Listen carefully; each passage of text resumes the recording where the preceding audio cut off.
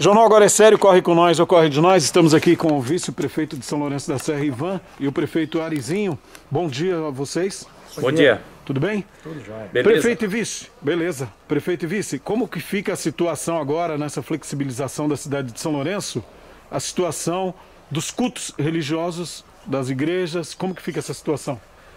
Bom, é, inclusive nós acabamos de sair com uma, uma reunião né, com o padre Fábio, é, o padre nos procurou aqui para tratar o assunto da Igreja Católica, que a Diocese de Campo Limpo já liberou né, a partir da segunda-feira, mas cada município deve entrar em contato né, com, com as prefeituras para poder fazer uma, uma, uma ação em conjunto. Né, e nós estamos programando isso com a igreja, o padre vai passar isso tudo para a comunidade e, e vai tomar a decisão.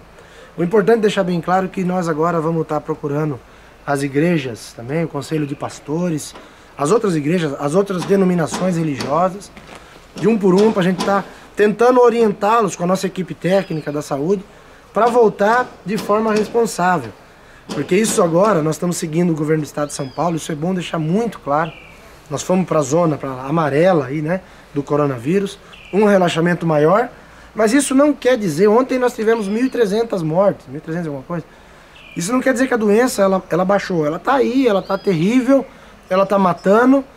E nós temos aí esse relaxamento nesse momento que vai agora muito, muito claro, isso ficou para mim, que jogamos isso para a população. Os governantes falou, povo, vamos nos unir e vamos nos proteger. Dividiu um, a responsabilidade. Dividiu né? a responsabilidade, porque agora as pessoas, o comércio está aberto, as pessoas estão mais na rua, e agora é a hora do cuidado, e agora é a hora que nós podemos ter, dependendo de como vai ser a nossa atitude, nós podemos ter um boom dessa doença e voltar a fechar tudo de novo. Isso é o nosso medo. Então temos que tomar cuidado, né, Ivan? Uma grande preocupação nossa é exatamente esse relaxamento se tornar é, o grande motivo para que as pessoas deixem os cuidados de lado e umas comecem a contaminar as outras. Porque o problema das pessoas estarem assintomáticas é esse: é de não sentirem absolutamente nada, mas transmitirem o vírus. E outras pessoas com doenças já pré-existentes ou com dificuldades físicas comecem a adoecer, procurar os hospitais e infelizmente virem a morrer ou não terem vagas nos hospitais. A nossa grande preocupação é exatamente essa. E é por isso que agora, procurando os líderes religiosos do nosso município, nós vamos conversar de maneira objetiva, aberta, para que todas as igrejas, templos religiosos, locais onde as pessoas irão se aglomerar, tomem todos os cuidados. É importante que a gente realmente se cuide, principalmente nos momentos em que estejamos ali juntos, 50, 100, 200 pessoas. Seguir as regras, né? Seguir as regras, para que tudo aconteça da melhor forma possível e, e da maneira mais segura possível. Certo. A Covid não é brincadeira, né, Guto? É, é, e você que é líder religioso, que está nos assistindo, nos assistindo aqui no, no jornal Agora é Sério, que é um jornal que é, atende muito bem a nossa região, chega nos lares que a gente não consegue chegar. Eu queria agradecer que nesse momento, Guto, é, parece uma simples reportagem, mas a sua reportagem hoje salva vidas. Né? Porque orienta as pessoas, faz com que a nossa Sim. orientação entre na casa das pessoas. Então, muito obrigado por essa prestação de serviço à sociedade. Certo. Tá, tá, tá de parabéns. Então, eu queria pedir para quem é líder religioso, para quem é comerciante, que assuma essa luta contra essa doença. Porque enquanto não tiver uma, uma vacina, o coronavírus vai ficar por aí. Não adianta a gente, ah, mas agora liberou, o corona tá, não tem mais tem e vai aumentar cada dia. Nós temos que nos proteger. Só vamos estar livre quando sair uma vacina. Essa é a grande notícia. Prefeito, é, a retomada dos cultos religiosos aí, ele vai ser regrado de algumas regras e recomendações, né? Sim. Não vai ter aquela ocupação máxima, não, não. vai ser com uma redução aí de porcentagem, né?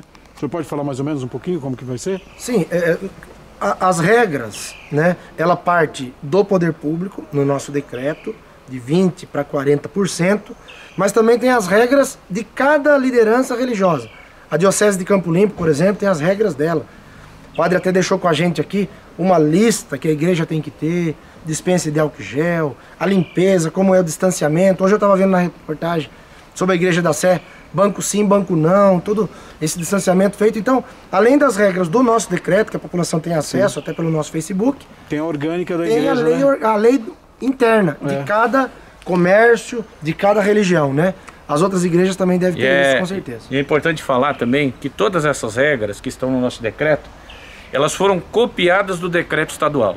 Então, se as pessoas tiverem alguma dúvida, é só entrarem no site do governo, inclusive no nosso decreto Sim. e nas nossas publicações, tem o um endereço direitinho do site do governo do estado, da Secretaria de Saúde, e lá tudo aquilo que for determinado pelo governo do estado nós vamos estar seguindo aqui. Utilização de álcool em gel, utilização de máscaras o tempo todo, utilização é, da higienização, fazer, aliás, a higienização das mãos constantemente, o distanciamento entre um metro e meio e dois metros. Então todas essas exigências, elas passarão a partir de agora a serem obedecidas dentro das igrejas e templos religiosos. Mas é importante que as pessoas leiam. Informação nunca é demais. Tá certo. Vice-prefeito Ivan e prefeito Arizinho, muito obrigado pelas informações e um bom dia. Bom dia. Obrigado, Guto. à disposição. Valeu.